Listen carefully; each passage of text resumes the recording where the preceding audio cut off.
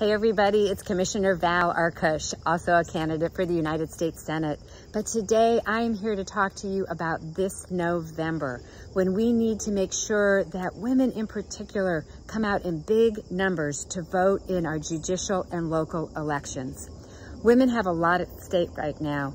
Women have taken the brunt of the COVID-19 pandemic and had to leave the workforce in droves. Childcare is still too expensive and so is elder care. Roe v. Wade is on the chopping block, and of course there are wide attempts at voter suppression.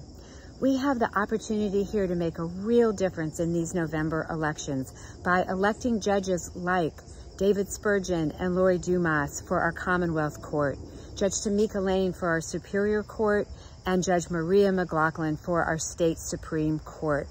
These judges matter. We saw how important they were last year, and we need to make sure that we elect judges with the right values to move Pennsylvania and issues that women care about forward.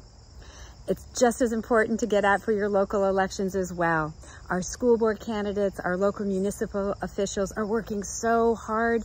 They want to represent you and they want to represent you with democratic values. So please make sure you get out and vote. There's so much on the line this time. I'll see you at the polls.